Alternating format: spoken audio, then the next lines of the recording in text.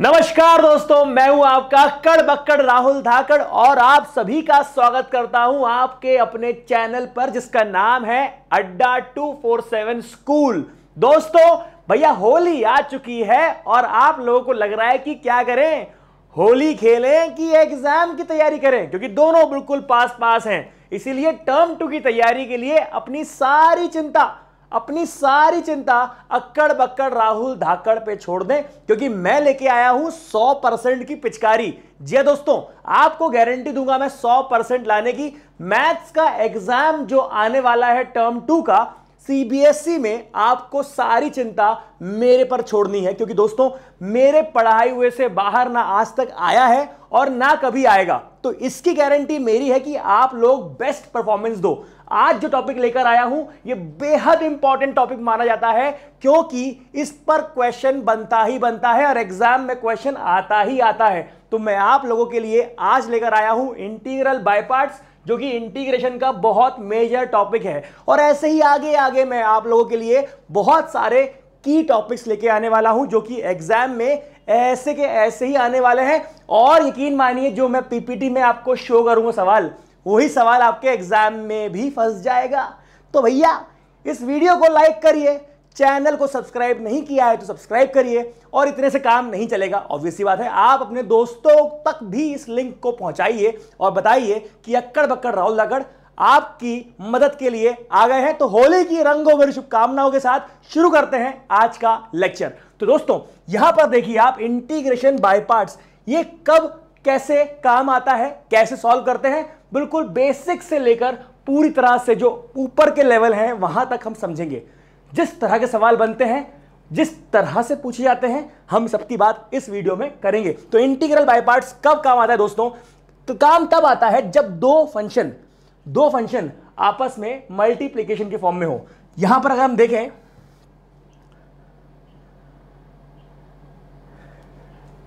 जब भी integration of दो फ़ंक्शन जैसे कि यहाँ पर x लिखा हुआ है, यहाँ पे cos x लिखा हुआ है। Integration of x, cos x को जब भी हम कोशिश करेंगे सॉल्व करने की तो आपको समझ में आएगा कि यहाँ पर एक फ़ंक्शन नहीं, दो फ़ंक्शन लिखे हुए हैं। मतलब this is your function one this is your function two यहाँ पर दो फ़ंक्शन है, उसको इंटीग्रेट करना है। हमने अभी तक जितने भी फॉर्मूले सीखे, वो एक फ़ंक्शन को इंटीग्रेट करने वाले थे।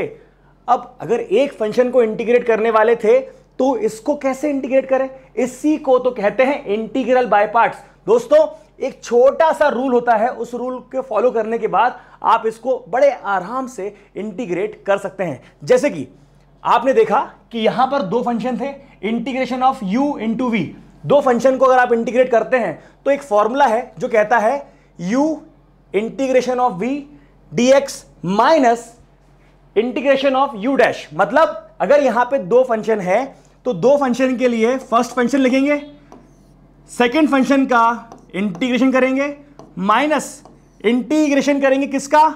d by d x of first function और उसके बाद इंटीग्रेशन ऑफ़ सेकेंड फ़ंक्शन बड़ा ही आसान होने वाला है। शायद शायद सुनने में थोड़ा सा लग रहा होगा कि यार सर कैसी बातें कर रहे हो आप? क्या करने वाले हो आप? लेकिन थोड़ी देर में क्लियर क्रिस्टल हो जाएगा ये टॉपिक आप लोगों को। बस इतनी सी बात सुन लीजिए कि भाई, यहाँ पर दो फ़ंक्शन है, u इंटू वी पहला फ़ंक्शन और दूसरा फ़ंक्शन। पहले फ़ंक्शन का इंटीग्रेशन नहीं करेंगे, उसको लीव कर देंगे एज इट इज़ इंटीग्रेट करेंगे सेकेंड फ़ंक्शन को माइनस का साइन लगाएँगे इंटीग्रेशन लगाएँगे, बड़ा सा ब्रैकेट लगाएँगे differentiation of first function into integration of second function अब ये करते कैसे हैं? सॉल्व कैसे करेंगे? आंसर कैसे आएगा? ये हम अब धीरे धीरे समझते हैं। जरा ध्यान से देखिए। आपके पास ये क्वेश्चन था। अब इस क्वेश्चन में आपने देखा कि एक्स और कॉस एक्स तो आपका सवाल पहला ये रहेगा कि क्या रैंडमली हम फ़र्स्ट फ़ंक्शन किसी को ही मान लें? क्या रैंडमली हम सेकेंड फ़ंक्शन किसी को ही मान लें? ना बाबा, ना। एक रूल है। उस रूल को फॉलो करेंगे हम लोग। इस रूल के अकॉर्डिंग आपके पास दिख रहा होगा कि ये u इंटू वी फ़र्स्ट और सेकेंड फ़ंक्शन को बनाने के लिए एक छोटा सा रूल फॉलो करना पड़ेगा and that rule is ILATE उसमें फॉर्मूले हमारे सेम रहेंगे कि इंटीग्रेशन जब भी हम करते हैं कांस्टेंट का तो it gives you a x plus c याद आ गया आप लोग को कि जब भी हम इनडेफिनेट इंटीग्रल करेंगे तो आपके पास ये सी लगाने का मैंडेटरी कंडीशन आएगा। जब भी इनडेफिनेट इंटीग्रल करेंगे तो सी लगाना पड़ेगा। डेफिनेट इंटीग्रल करेंगे तो सी नहीं लगाना पड़ेगा। और वैसे ही ई एक्स का, वन बाय एक्स का, सबका इंटीग्रेशन जो है आपके सामने लिखा हुआ है।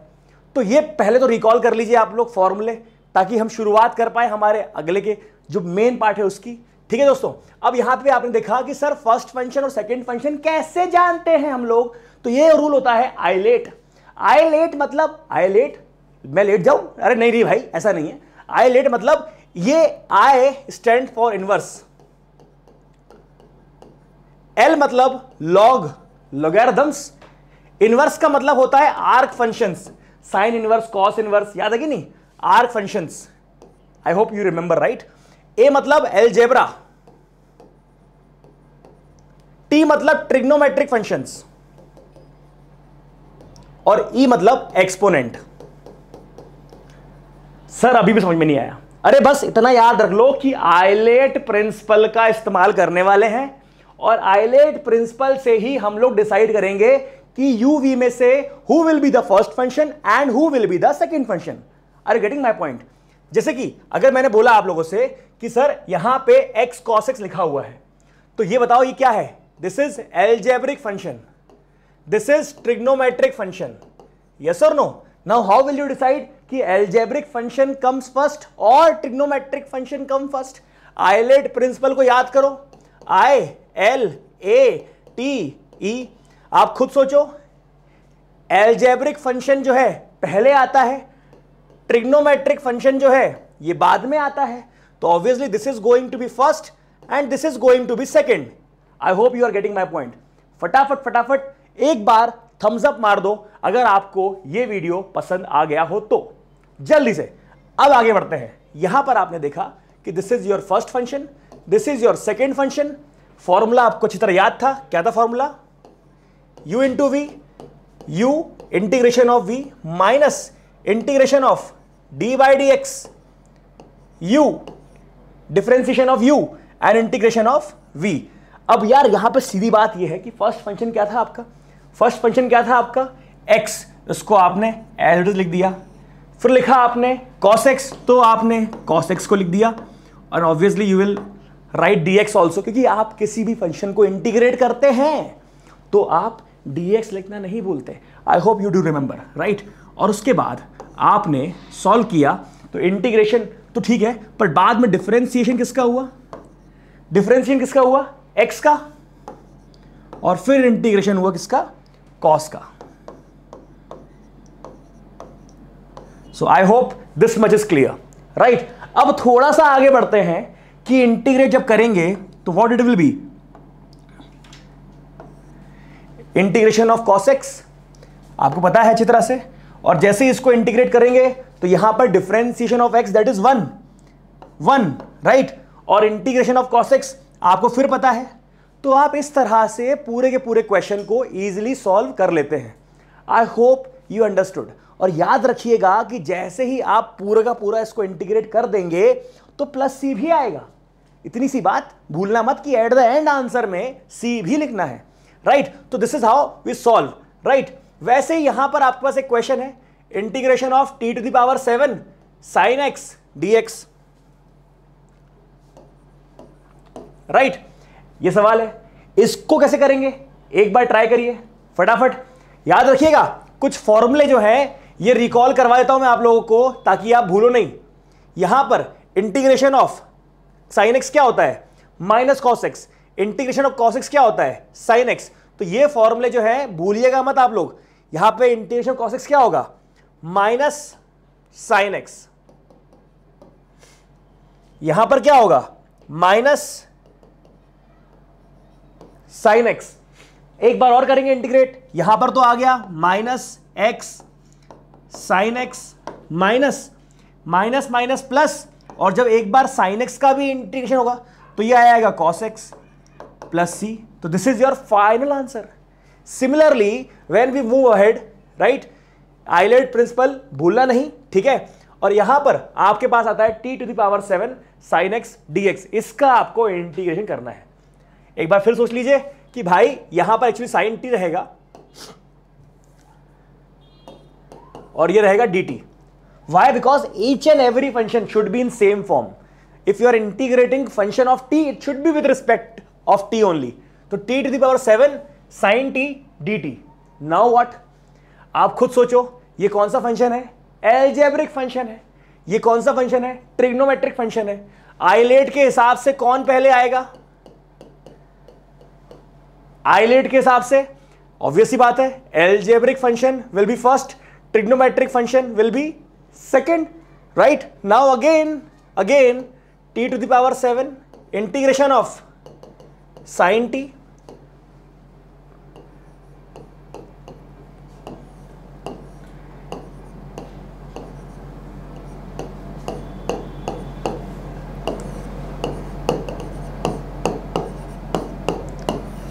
okay now go ahead फटाफट फटाफट सॉल्व करो उसको सही है। ओके तो आपने देखा कि भाई फॉर्मूले अगर आपको रिकॉल करने हैं तो आप पीछे जा सकते हैं, पूरी तरह से कोई छुट्टी वाली बात नहीं है। यहाँ पर क्या हुआ? आपने देखा यहाँ पे इंटीग्रेशन ऑफ़ कॉस एक्स क्या था? साइन एक्स पर इंटीग्रेशन ऑफ़ साइन एक्स क्या था? माइनस कॉस एक्स राइट तो ये जो चीज़ें हैं, याद रखिएगा प्रॉपर तरीके से, और बिल्कुल सही लगाइएगा फॉर्मूले इंटीग्रेशन ऑफ़ साइन एक्स अगर क्या होता है कॉस एक्स होता है तो इंटीग्रेशन ऑफ़ साइन टी क्या होगा? ये थोड़ा ध्यान से चलिएगा। एक बार आंसर अगर आपका आ जाए तो फटाफट फटाफट चैट बॉक्स में डाल दीजिए। Be quick